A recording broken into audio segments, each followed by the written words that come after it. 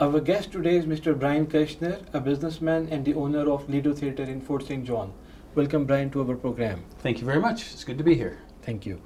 So, talking about the theatre, the first theatre in Fort St. John started in 1936. It was started by a local dentist named Dr. Wezel.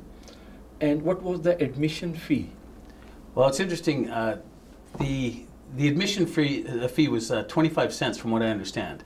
I uh, I don't know that as a fact, but that is uh, one of the uh, the uh, unknown secrets about the Lido that uh, this doctor that's what he charged, which was very easily for people to come up with. So yes, it was 25 cents, from what I understand. Yeah. Interesting. And is it true that eggs, fruits, vegetables, they were also accepted for admission?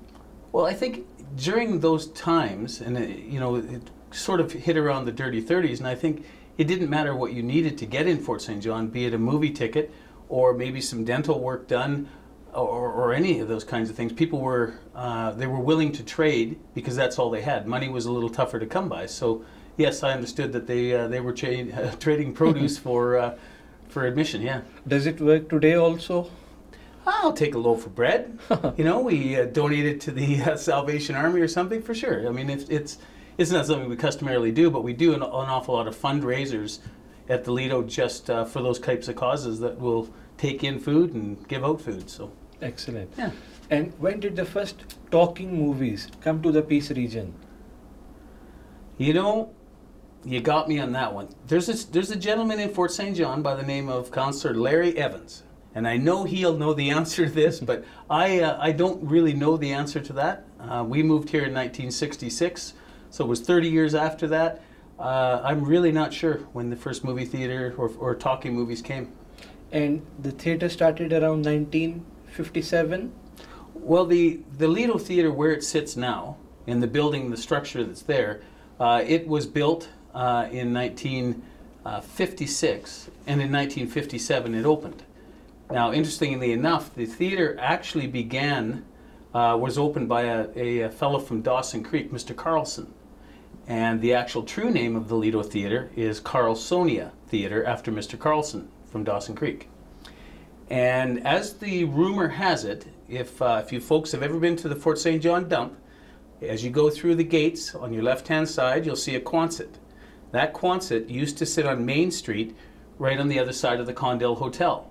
And that was the original movie theater, and it was a mobile movie theater. They would, uh, I don't know if it was just between Dawson Creek and Fort St. John, Larry Evans will know that answer.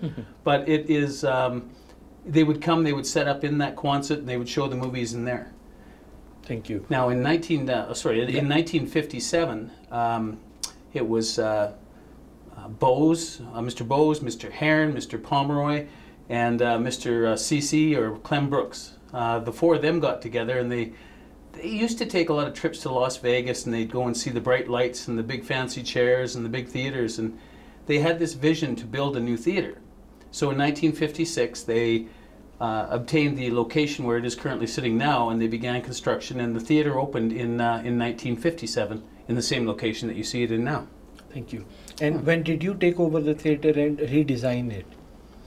Uh, I actually took it's, it was actually April Fool's Day, April 1st, 2007 is when uh, is when we took possession of the theater and uh, began the dream, as we'll call it. It was, um, I had gone to our, our, local cultural center and I'd gone to see a, uh, a band by the name of Glass Tiger and also Honeymoon Suite. It was a double bill. And as I sat in the theater and I, you know, listening to the music, and it would take me back to where I was doing things perhaps I shouldn't have been doing in the 80s, but it was so much fun. But I found myself restricted that you couldn't really feel the music. You couldn't get up and dance with the music. You couldn't maybe have a beer while you're listening to the music, you know, those kinds of things. So I thought, I've never really been much of a bar type person. Um, but I thought it would be really great if we could get something that was somewhere between a, a bar and a soft seat theater, where people could go up and they could move and they could dance and they could feel the music. And that's where the Lido idea came about. So in 2003 was the first time I actually uh, I went in to view the theater in 2003 because it had sat empty when uh, Landmark Cinema had built a new fourplex where it sits down now in the uh, in the Totem Mall. And in, in 2003, it was empty, and I had gone to that concert, and I was all excited, and I went, Mhm. got the real estate agent to show me through the building, and uh, um, it took uh, it took four years to get it though. And when did you discover your passion for business and arts? You know, I, I don't know if I have a passion. I certainly have a passion for business, and I've developed a passion for the arts. Um, I just, uh, for me, it, I, I have a, possess, uh, a passion for, for challenges, a passion for uh, things that aren't that I feel maybe could be or should be. Um, I, I, I like um, bringing different things to the table, whether it be, you know, even back with some of the house parties when my parents used to leave town, and they probably will watch this and they'll know, but they would leave town and we used to have um, some great gatherings at the house. And, you know, we'd shoot pool and we'd dance and we had live bands in the backyard and the neighbors would sit out on their fences and and it was just bringing people together was more of what I have a passion for than it is actually the performing arts or you know anything in particular. Yeah. Great, thank you. And uh, talking about the challenges, so what bureaucratic challenges you have faced while managing the theatre? That's a that's a really in-depth question. It's like anything else. When when things are easy, everybody will do them. But when you when you start to challenge uh, ideas and concepts, things that perhaps haven't been done before, uh, my vision was that every every small town has a, a, a an old theater. I mean, it used to be uh, that you know the movie theater was the place to go to, or the hockey rink, or if you're old enough, you could curl. But it was usually the hockey rink and the movie theater were the forms of entertainment. And so, when I decided to take over the old movie theater, it had been closed for four years. Uh, I took it over. It was a lot of dust. The seats were all still there. The movie equipment was still there. Um, I've got some of the old pictures that I look at now. And the first thing to do was, you know, obviously you obtain the, the actual building itself and the rights to it. And, and um, going to, the, to City Hall, um, I started construction of the Lido, but I didn't have a building permit. And, and so the city of Fort St. John, um, and you know, they're doing what they're supposed to do. I'm not arguing against that, but, but I did a bit of homework and I didn't have to have a building permit because I wasn't changing structural. So I ran into a few difficulties, you know, um, making some cosmetic uh, changes in the theater. Uh, we, got, we got through that, you know, and I, I understand more about uh, fire safety now than I ever knew before. Uh, the health, we have a fully a full health license at the Lido uh, to pop our popcorn. You know, we, we have all those things in place. Um, we had gone through, uh, and and part of the vision was to be able to um, to be able to show live sports. Uh, I am a sports fan, and the the screen is still in the theater. I've upgraded the actual projection system, but the screen is still the same. It's 16 feet wide or high by 24 feet wide. That is one big TV, and so the clarity um, in that in that building was such that I'm standing up in the green room where the entertainers would be, and I'm with the liquor licensing uh, department, and we're watching a Vancouver Canucks hockey game. It was the year they went to the uh, to the finals against Boston. Everybody was very excited about this, and I thought I'd been getting special occasion licenses on quite a regular occasion because people wanted to book the Lido for their events, and it had been uh, suggested that instead of doing that, perhaps I should go and I should actually get a liquor primary license, which is what I did. Uh, and that was in, uh, in 2008. I applied in the spring, I received the license in the fall, and kind of in uh, beginning of 2009 is when I really started to function as, uh, as a liquor primary facility.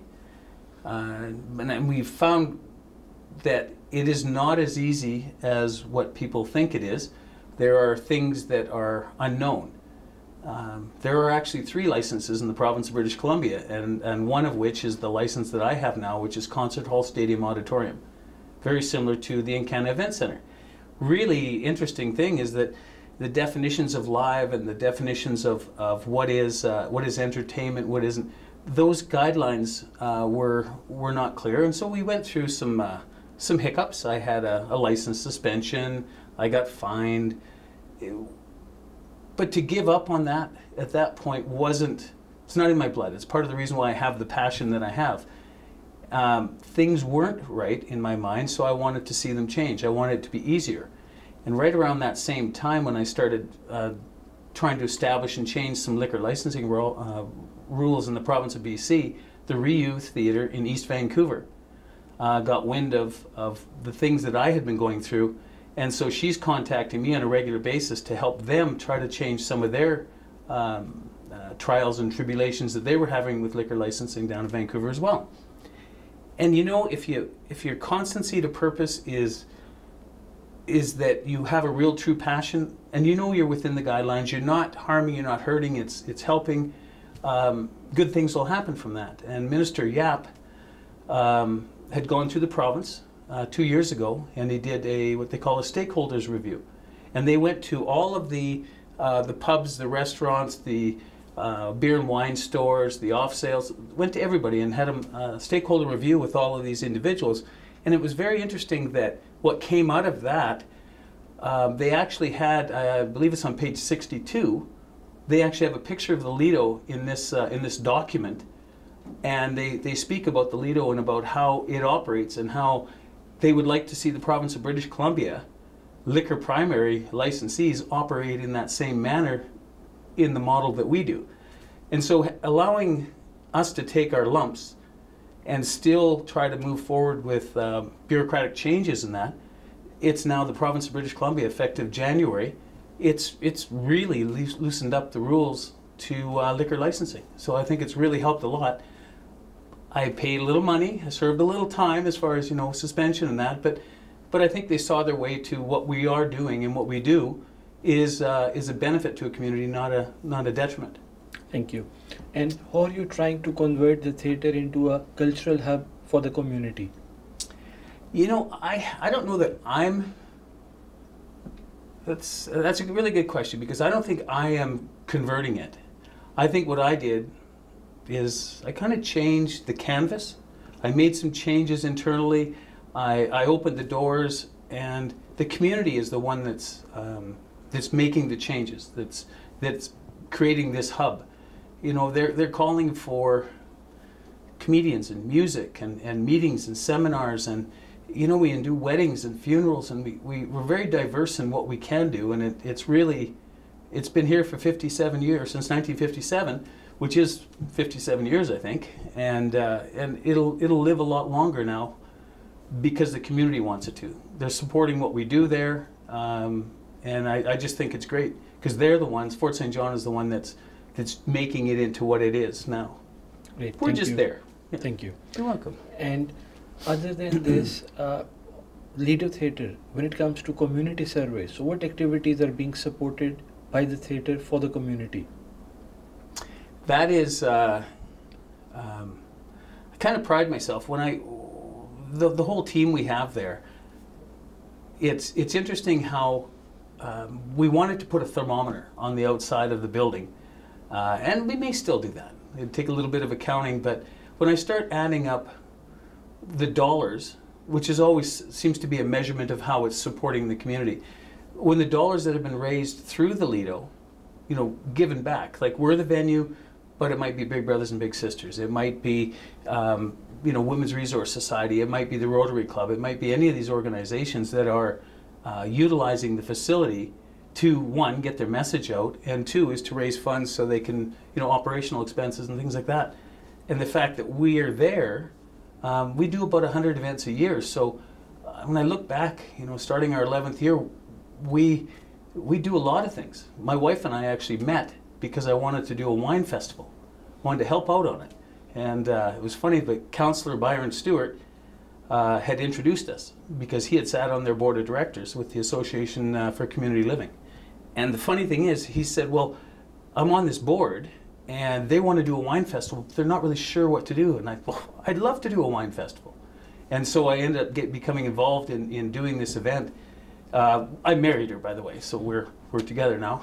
Happy ever after kind of thing.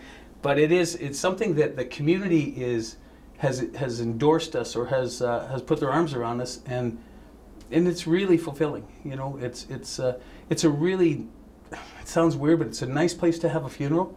It's a nice place to have a wedding.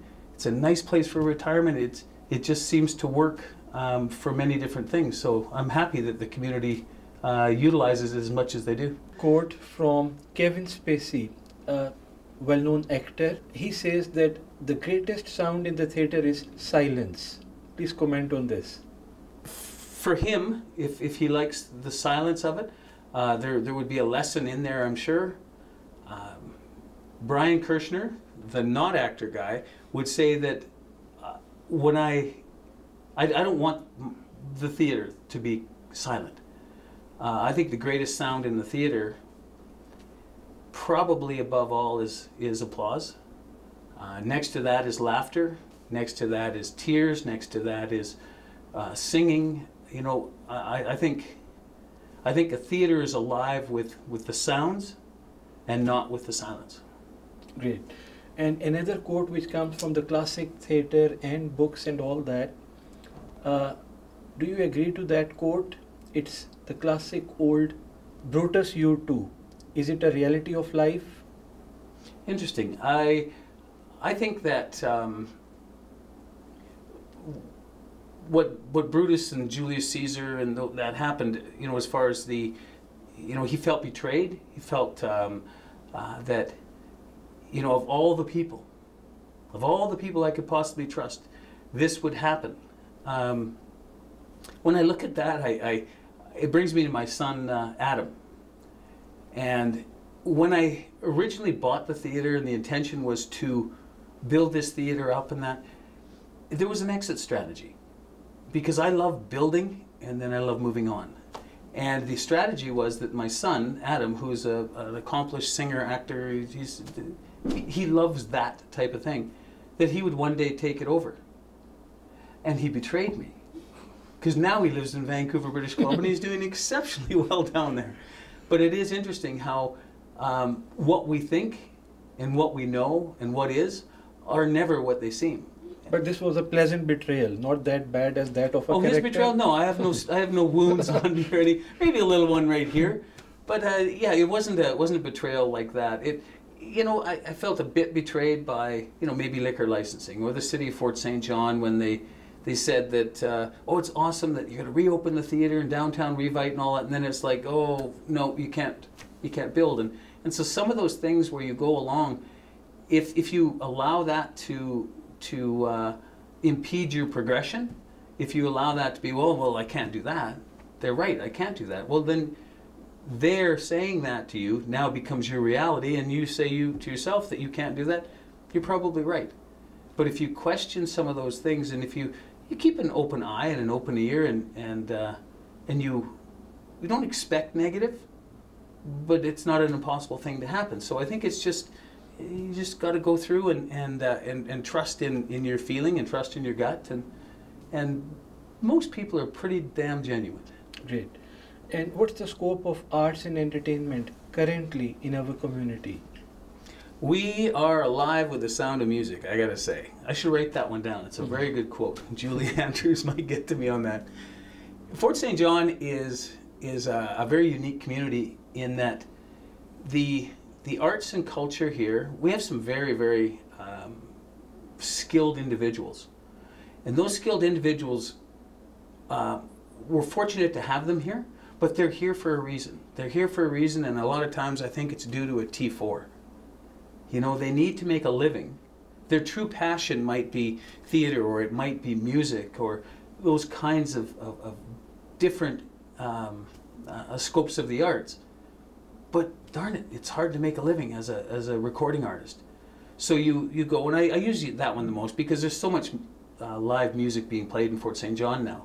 Thank you to Egan's Pub, obviously, because they're the ones kind of who, who started that whole open mic format.